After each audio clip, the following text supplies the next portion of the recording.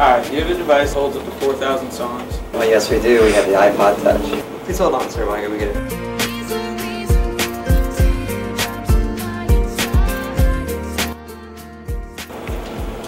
All my dreams have come true.